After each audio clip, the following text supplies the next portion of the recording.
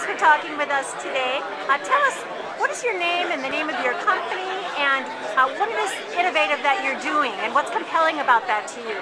Absolutely. So my name is Timo Meckler. I am I'm uh, spinning out technology at Carnegie Mellon, actually, and that technology seeks to reduce power consumption IT data centers. Uh, it's a pretty huge problem. Uh, you know, data centers consume, expect to consume up to seven and a half billion dollars of electricity this year, and service data centers are underutilized. So a lot of power is just wasted. So we've got technology, software that's going to help solve that problem. Excellent. And um, tell us, just sort of from the human side, as you decided to get into this, why? Why, why did you choose this to do? As an entrepreneur, all your choices are pretty deliberate. Uh, they're not accidental. Why did you decide to do this? Well, I personally view that you know energy is sort of the problem of my generation.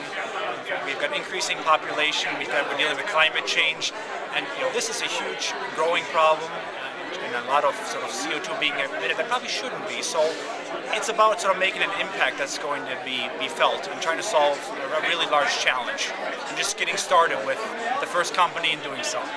Excellent. Now, um, even though you've not been at it for a long time, is there anything that you're learning um, and has any, any wisdom or advice that you would uh, pass on to others who are considering uh, sustainability-driven innovation and entrepreneurship? Absolutely. So running a startup is very much like riding a roller coaster. Every day has its ups and downs. But if I had to say two things of advice, I would say, no matter what, persevere and don't ever, ever, ever give up. That's that. That is what it comes down to. Thank you so much, Timo. Sure. It's a pleasure to talk with you today.